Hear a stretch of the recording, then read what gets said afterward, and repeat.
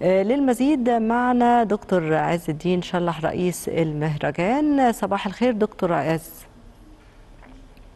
إليك وللشعب المصري كله.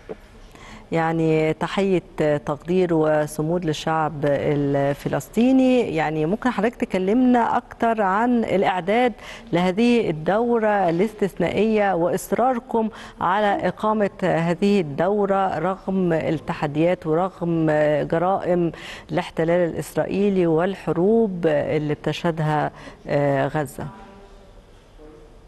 ونتيجة الجرائم اللي بتصير في غزة والحرب اللي موجودة نعم. على غزة والإبادة اللي موجودة إحنا صممنا ويعني أثرنا بأنه إحنا لازم نقيم الدورة الثامنة للمهرجان لأنه ما تعني حياة.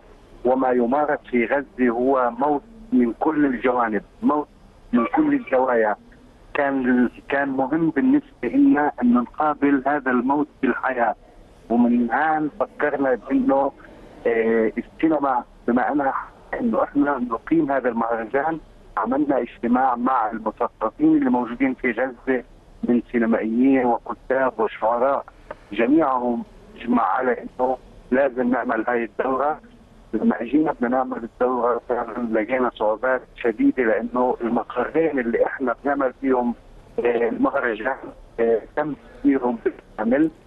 الدكتور اللي إحنا بنعرض فيه كان موجود في مؤسسة هاي المؤسسة تدميرها المصور اللي كان موجود معنا لما تواصلنا مع لجنه مستشهد يعني إحنا كأنه في يوم الاخره أحيانا بتكون مش عارف يعني جنبك شو هو.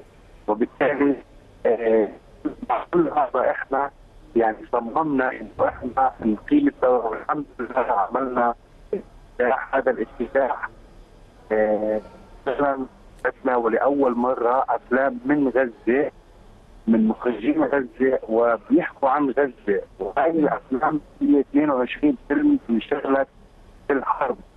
آه كل مخرج عمل فيلم عمله برؤيته ومن زاويته المشاهدين اللي في غزه اللي في الخيام خيام النزوح هم كانوا بيشوفوا أنفسهم من خلال عين المخرج كانوا بيشوفوا أنفسهم يعني بعمق وبيشوفوا الآخرين الآخرين اللي هم حواليهم كانوا بيشوفوهم كل عمق من خلال القصة اللي بيسردها المخرج.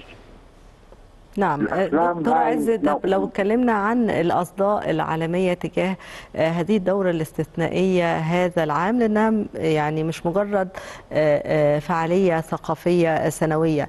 أكيد في رسالة أنتم حابين إن أنتم توصلوها للعالم في الوقت الراهن برغم التحديات والصعوبات اللي بتواجهها غزة أو فلسطين بصفة عامة.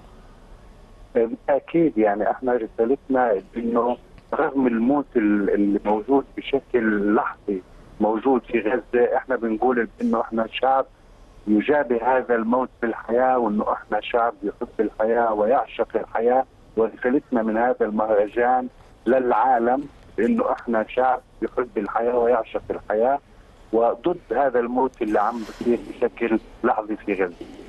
نعم نشكرك دكتور عز الدين شلح رئيس المهرجان.